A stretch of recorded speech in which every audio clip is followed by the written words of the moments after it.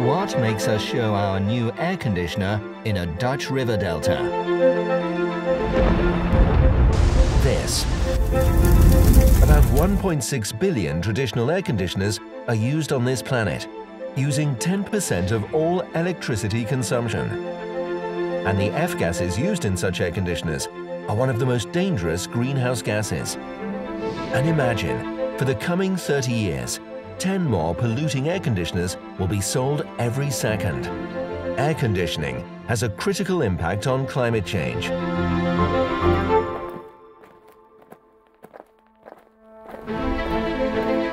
In this global crisis, a company from the Netherlands came up with a breakthrough technology to solve this problem.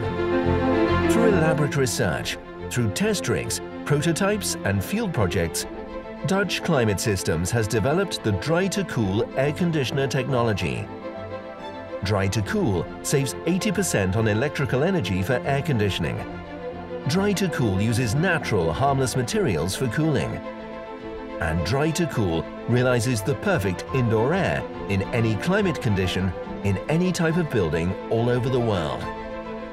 We are proud to present this new Dutch air conditioner technology we are ready for cooling the planet.